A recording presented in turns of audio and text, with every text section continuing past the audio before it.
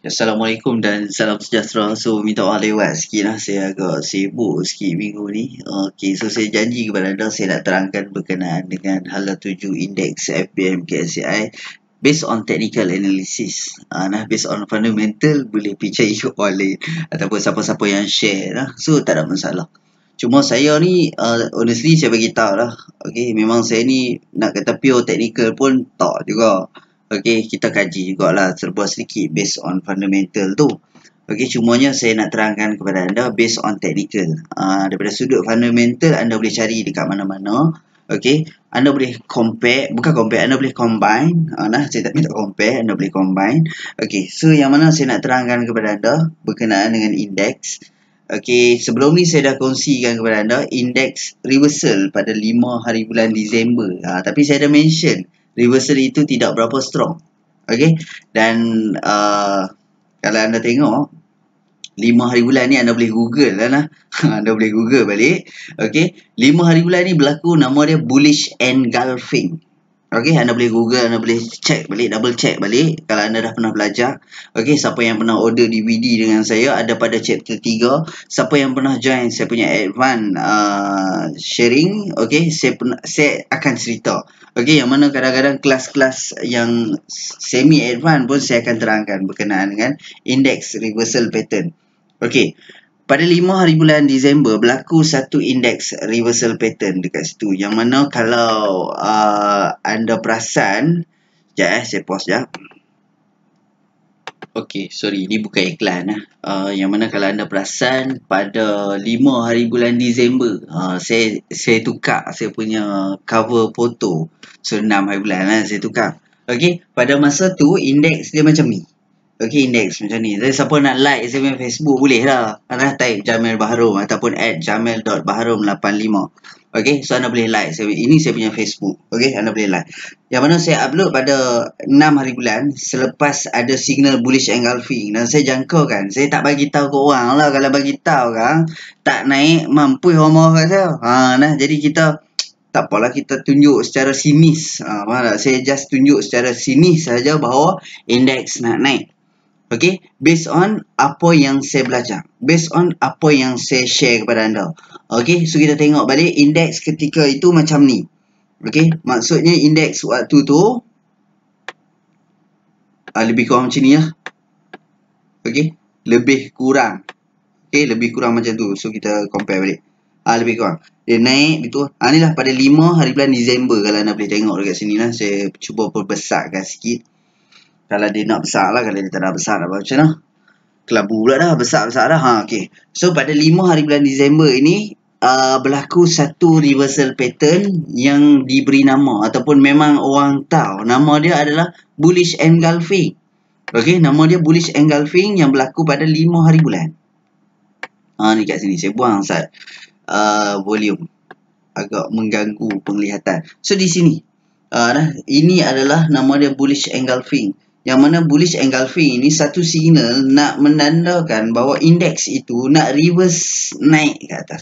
Nama reverse, reversal. Reverse ni dia petah balik. Ha, dia sedang ke bawah, tiba-tiba dia nak petah balik. Dia petah balik ke atas lah cerita dia. Okay? Tapi saya tak boleh lah bagi tahu secara direct kata okey indeks kita akan naik uh, sehingga melepasi resisten yang terdahulu akan naik melebihi 1800. Tak boleh lah saya bagi tahu macam tu. Okey, sebab dia kalau tak naik mampu orang maki saya. Okey, dan kita boleh tengok, okey, bulan 11 adalah bulan quarter report yang macam saya dah bagi tahu dah. Ha, quarter report itu bukan technical tau. Ha, dia uh, dia bukan technical tapi saya still study. Uh, maknanya kalau quarter report je saya akan duduk diam, relax sikit. Uh, faham tak? Jadi kita tengok bulan Disember uh, sepanjang daripada September sampai Disember sehingga hujung quarter report iaitu pada hujung bulan 11. Okey. Dia menurun. Okey, apabila dia menurun dan apa yang saya jangkakan hari itu akan berlaku balik kenaikan pada Disember dan saya tak saya tak jangka lah bahawa akan berlaku reversal. Tiba-tiba dia berlaku reversal dan saya dah kongsikan dah pun kepada anda. Cuma saya just bagi tahu reversal ini mungkin tak strong. Tak seperti reversal-reversal pattern pada tahun-tahun sebelum ni. Okay, so anda boleh google terlebih dahulu. Anda boleh pergi check balik nota. Bullish engulfing, dia mesti turun. Last candle merah kemudian next day perlu open di bawah low dan close di atas high candle sebelum. Okey yang mana hijau perlu menutupi merah. Itu adalah bullish engulfing. Okey yang mana bullish engulfing ini pernah berlaku pada uh, bulan 8 2015 hmm ni dekat sini okey So syarat dia adalah dia kena turun turun turun turun dulu last candle merah kemudian diikuti ke kagak pula. Diikuti candle hijau yang mana uh, open di bawah low merah dan close di atas high merah. Maka berlakulah index reversal dekat situ. Okey. Ah uh, dia naik. Okey dia naik. Tapi kita bukan nak beli index. Ah uh, nah kita bukan nak beli index, kita nak beli counter. Ah uh, so kita apa yang kita buat adalah uh, kita belilah counter di apa di kesempatan index reversal ni. Uh, okay. So kalau kita check balik counter, kita check counter yang uh, yang yang saya suggest. Ah uh, nah kita check balik counter yang saya suggest. Okay pada bulan Januari. Sorry, uh, pada bulan Disember. Okay, kebanyakan counter ni memang ada suggest pada bulan uh, Disember juga. So, kita tengok counter Kuskapi. Saya tengok beberapa contoh lah. Bermula pada 5 Disember. So kita tengok contoh counter Kuskapi. Bermula 5 Disember. So 5 Disember dekat sini. Ha, nah 5 Disember dekat sini. So kalau kata belilah pada 5 Disember. Okay katalah beli 5 Disember. Dia pernah naik sehingga hampir 50%. Okay so kita tengok counter yang kedua. DNO. D mana dah? Okay DNO. Dan yang paling best saya ingat dah sampai terkeluar radar lah. Saya ni ada radar juga lah. Ha, okay, saya ni ada radar juga. Okay, so 5 hari bulan itu berlaku dekat sini. Uh, sorry, 5 hari bulan 12. 5 hari bulan 12. Mana-mana. Okay, lebih kurang kat sini. Pernah naik sehingga 20%. Okay, High beast ni sampai terkeluar radar. Maksud terkeluar radar ni saya tak ada suggest counter di atas ringgit tau. So bila dia dah berada di atas ringgit, maksud saya tergelak pada radar lah. So kalau kita tengok balik based on uh, 5 Disember, okay, dekat sini, dia sehingga sekarang dia dah 54%. So ambil peluang lah maksud saya di atas kesempatan itu. Dan saya juga ada bagi hint lagi satu. Mana dia hint lagi satu? Ya, itu gulai temenung. Ha, siapa main lo star? Okay, ni ni ni offer lah nah. Siapa main lo start, contact lah saya. Jom kita pergi makan gulai terpenuh. Lagi bagus time ayat pasang. Ha, faham tak ayat pasang tu pada? Ayat load naik. Ha, so kita boleh pergi makan berendam kaki dengan ayat ayat masin. Okay. So saya belanja siapa main sini. Just telefon saya ke ataupun mesej saya dulu. Okay. Jom kita pergi. Saya bawa pergi makan. Kat Kedah ni banyak tempat makan menarik. Serius. Ha, nah, orang Kedah pun nak ajak saya makan. Ajak lah. Ajak belanja saya. okay. So sorry lah. Melalui sikit sebab saya ternampak apa lagi satu eh Okay, so macam ni uh, Ni Facebook saya, anda boleh like Facebook saya Okay Sekejap, saya nak tunjuk satu benda yang ayat saya selalu guna tu uh, Ni agak kelakar je, kelakar, kelakar uh, Dia tak panggil kelakar, dia agak lawak uh, Kalau orang kedah panggil lawak, dia tak panggil kelakar lah Ada pula kelakar jadi kelakar Sekejap, satu benda lagi yang agak lawak juga lah Sekejap eh Oh, mana pi? Okey, dekat sini. Hmm. Eh, eh, eh. Rasa saya kena pause saya tunjuk dah. Okey, tak apalah. Okey, jap. Uh, maksud uh, yang ni, yang ni ni, okey. So, kita, bila kita pergi tengok balik pada tarikh uh, 5 hari bulan tu, yang komen tu pun menarik tau. Uh, kita bukan nak cerita Facebook tapi tak apalah. Yang komen ni, seronok saya tengok orang komen. Tengok ah. Yang komen ni, apa jadi dengan orang yang komen ni? Anda pergi add friend depa ni. Terutama Anwar Putra. Duk wow sedia anda pergi, pergi, pergi friend dah. Jadi, hebat orang dah ni. Okey. Uh, membantu sangat manfaat kasih naik sampai pecah skrin lah memang okay reversal boleh beli tapi jangan sampai jual tanah ya tak apa tak ada masalah ha, ni ayat dia uh, junam sekarang okay keluar skrin weh tak uh, ada saya tak boleh nak view semua komen. Dan banyak yang saya tengok komen depa faham bahawa itu adalah index reversal. Ha, tapi tak menggunakan kesempatan dengan betul. Okey? Saya pun ada kok tak guna kesempatan dengan betul. Saya tak jual semaksimum sebab saya jual di akhir ataupun di hujung bulan 12 sebab saya nak nak kira zakat. Ha, nah. So saya kena jual sebelum bulan sebelum masuk tahun 2018 so saya jual awal lah ha, sedangkan habis kalau saya hold sehingga sekarang ni pun naik berlambak-lambak lagi. Ha, habis masa saya beli adalah 840 sekarang dah RM1 lebih lah kalau saya masih hold. Tapi saya memang counter bila naik di atas RM1 ya memang saya dah tak jadikan watchlist. Ni 5 Disember. Okay. 5 Disember petang saya upload benda ni. Okay. Selalu saya kata apa. Kalau kita tahu counter tu nak naik pakat-pakat jual tanah. Kita pergi beli saham. Saja je bagi hint. Takkan nak suruh apa orang pergi jual tanah kot. Saja je bagi hint. Sebelum ni baru orang faham. Okay. So, sekarang ni saya ubah profile picture orang takut lah. Eh, sorry. Cover foto orang takut pula. Kenapa saya tukar tiba-tiba macam tu? Ha, saya, saya explain lah. Okay. So, macam ni. So, kita tengok indeks FBM KSI.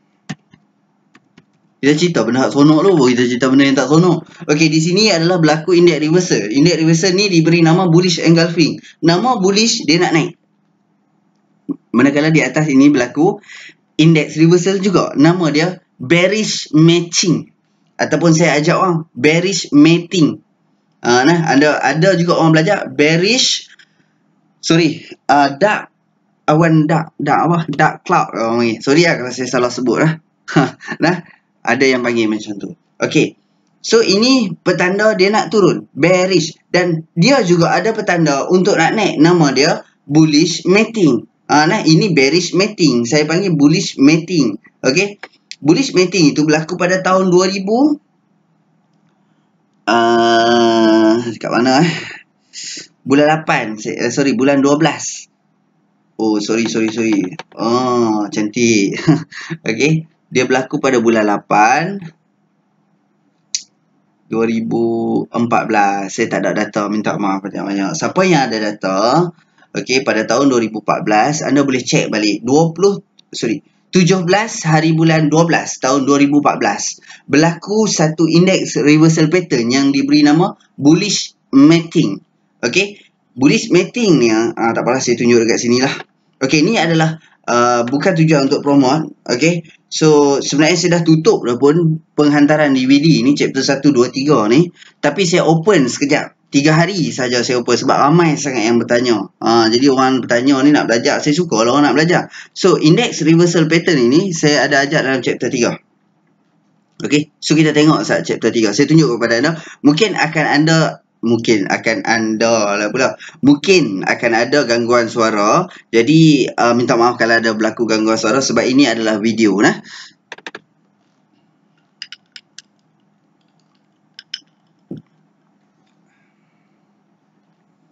Okey, saya cuba uh, play video ini kepada anda. Okey, dan saya nak tunjuk uh, apa yang saya terangkan dekat sini. Video untuk indeks reversal ini saya dah mute lah. Okey, video untuk indeks reversal ini adalah sepanjang berapa li berapa liter pula berapa minit lah kita tengok balik. So, minit dia lebih kurang mana? 45 minit penerangan dia. Ah uh, nah 45 so, minit penerangan berkenaan dengan apa ni adalah reversal uh, pattern. Yang mana saya fokuskan reversal pattern, so, ini reversal hanya pattern pada indeks. Okey bukan pada counter lah jangan okay. salah faham tau. Uh, hanya pada indeks reversal pattern. Dia ada beberapa reversal pattern saya terangkan kepada anda. Ini adalah uh, dalam mute. So kena mula belajar. Yang mana yang so, paling famous adalah bullish engulfing, bearish engulfing. Dia ada bullish, dia ada bearish. Mungkin okay. agak kurang bullish jelas matching, di mana penggunaan okay. yang sesuai. Dia ada bearish okay. matching. So saya bullish harami, lima, dia ada bearish okay, harami. Double pattern. bottom, dia okay, ada yang pertama double adalah bullish engulfing. So kalau dia ada bullish engulfing ni untuk naik lah. top di bawah dan juga spinning top di atas. Yang mana yang bullish matching yang agak familiar ataupun yang famous dekat bursa Malaysia ni adalah dua benda ni. Uh, bearish matching. Yang mana bullish harami juga selalu juga muncul tapi kurang bullish harami. Kurang dapat double bottom dan juga spinning top. Ini adalah so saya nak tunjukkan kepada anda macam mana uh, saya cuba pattern pattern reverse.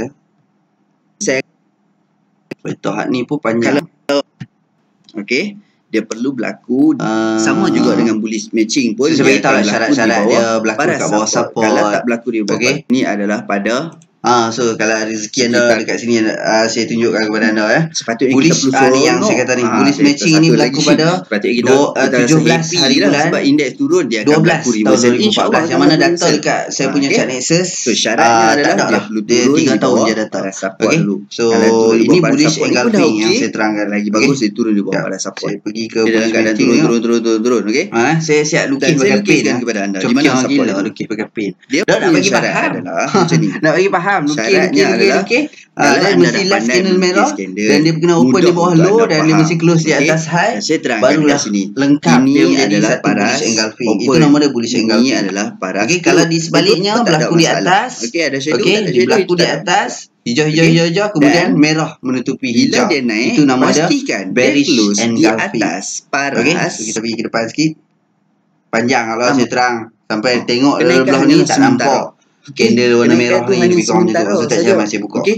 So, pastikan bullish engulfing ini berlaku di bawah paras support dan bullish engulfing pula berlaku mesti memenuhi syarat iaitu body hijau menutupi keseluruhan body Ah, dan saya kaki sebenarnya tangan. saya tak boleh dengar suara saya sendiri. candle. Saya pun segan. Okey, kalau kita Okey. perhatikan daripada Saya situ yang saya tandakan Ah, hijau ini ah, bullish matching jap. Saya cuba cari bullish matching panjang juga saya. Ha ni bullish. ini. So anda perlu salin ini- nota. ha, ni ni bullish matching. Nasihat Okey, saya, bullish matching ni dia tak menutupi sepenuhnya tapi dia menutupi separuh orang panggil Anda baca balik lah, nota. cloud anda lah. faham? Ah dah. Okey, So, anda tak faham, ah, ini- Anda ulang balik. Ini serba sedikit. anda ulang Ah, balik. bukan serba sedikit. Lah ni 40 banyak-banyak minit saya terangkan. kisah. 45 Yang saya kisahnya jangan berkenaan dengan orang index lain. reversal pattern. Yang mana kalau kita tengok baru ada chance untuk di dia jadi bullish 2015 saat saya matching cuba tengok bullish matching dekat mana berlaku. Ah ni, ni. Ni nama dia bearish matching. So, ni saya rasa penerangan ni tak berapa Okey, banyak. dia naik naik naik Okey. naik naik naik rasa hijau kemudian merah makan sampai separuh macam satu jam. Matching. So Jadi kita stop video yang ni. penting sekarang ni point Okey, yang anda stop dapat video ni kita tengok. Ha, nak ingat betul-betul apa Oh, dia yang dah saya kata. Macam Okey, syarat dia nak berlaku macam mana perlu di Okey, bawah sekejap. kena buka di bawah paras low merah. Ha, jangan main hentam main orang kata bullish engulfing, kita pun ha sahaja bullish engulfing. Oh, Lepas tu pun kena nak. belajar. Kita Okey. Dia tak nak lah. So, kita tengok dekat Okey. index kita. Tak lah kot. Okey. Sekali imbas Ah sudah hari semua stop. Okey. So anda anda anda petah balik balik video tu anda tengok balik bullish uh, bearish matching tu macam mana. Okey, so bearish matching itu itu pula dah. Bearish bearish matching itu berlaku pada ni 9 bulan 1 2018. Okey, ini adalah menandakan indeks tu nak turun. Ah, siapa percaya percayalah, tak percaya pun nak kata apa. Okey, so siapa belajar, dia akan faham lah. Siapa yang tak nak belajar pun tak ada masalah. Jadi apa yang saya jangka indeks akan ha, ni baru kita cerita apa hala tuju indeks nah. So sebenarnya indeks cantik.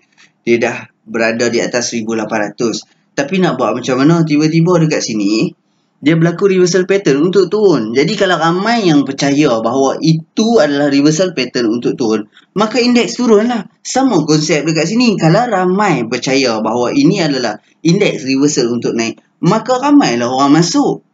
Foreigner, okay, institution dan semua yang kalau yang percaya, maka ramailah orang berani masuk.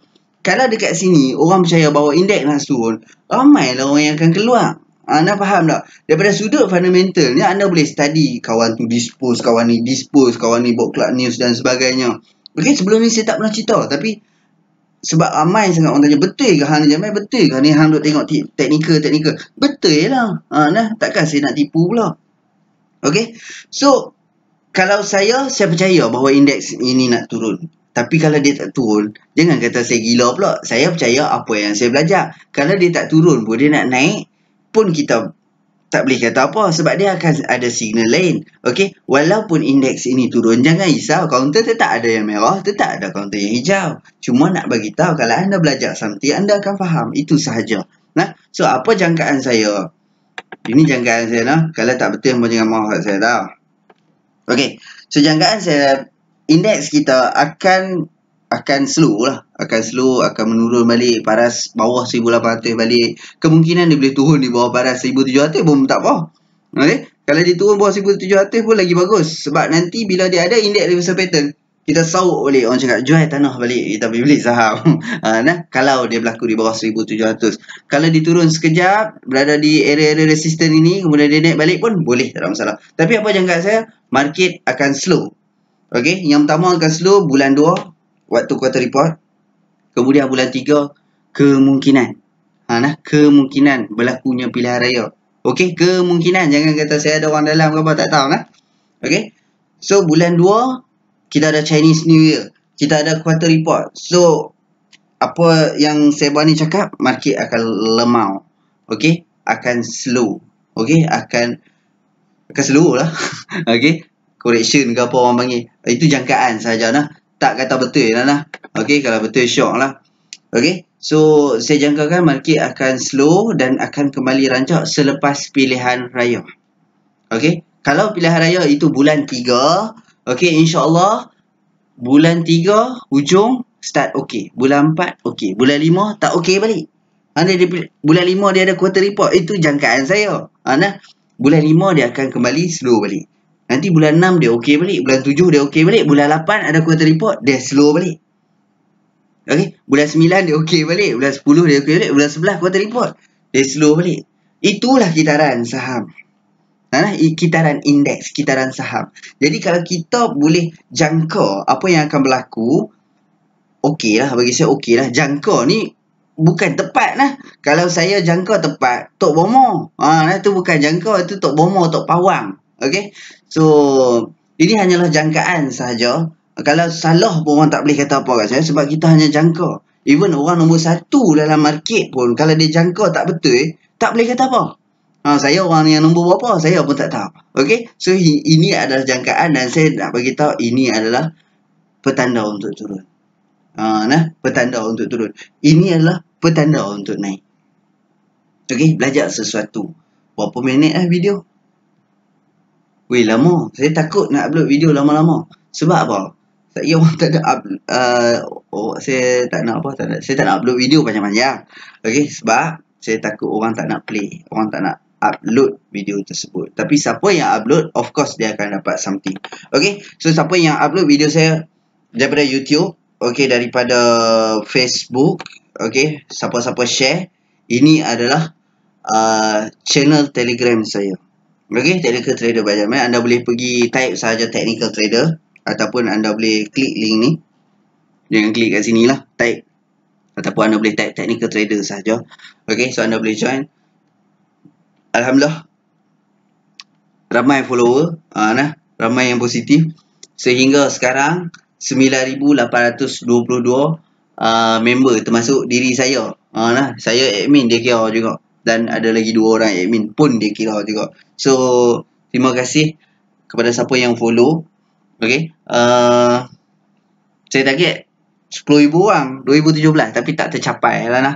So tak semestinya apa yang kita nak, apa yang kita target tu capai. Mungkin dia capai tapi lambat sikit. Ah, macam tu lah. Ah, nah. So insyaAllah saya jangka bulan satu ni achieve kot 10,000 tu. Okay, saya pun ada ada jangka juga. Channel nak ada follower berapa ramai. Okay, sebenarnya nak merajuk lah. Tak sampai 10,000 saya tak mau dah. Tak mau share sebarang apa. Saya, saya tengok 9 lebih okay dekat-dekat dengan 10,000 okay lah saya sambung lagi. okay, so uh, DVD ni saya open uh, untuk 3 hari sahaja. Kalau siapa yang berminat untuk, uh, ni betul promo. Uh, tadi tak promo. Uh, nah. So dalam chapter 1, 2, 3 ni ada Okay, ada uh, reversal pattern. Dalam chapter 1 ni ada pembelajaran uh, untuk sepanjang video ni. 4 jam lebih. Okay, saya dah terangkan. Anda boleh check balik dekat uh, dekat ni. Uh, ni anda boleh check balik chapter 1 apa. Uh, kadang-kadang kita dah bagi lah ni. Chapter satu ni topik dia mengenali trend, melukis skandal, mengenali support resistance, dan teknik pembelian dan sebagainya. Still tanya lagi chapter satu belajar apa? Kadang-kadang kita dah bagi lah, tunjuk lah. Uh, so, baca dulu. Okay? So, saya tak marah. Biasalah kadang-kadang saya pun orang bagi gambar, saya pun tak baca, saya terus tanya. Tengok-tengok ada jawapan dekat gambar tu. Okay, so semoga dapat sesuatu.